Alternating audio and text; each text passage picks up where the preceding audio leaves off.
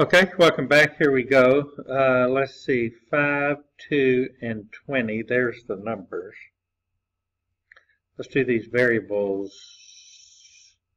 I've only got x to the fifth up there, and I got x cubed down here.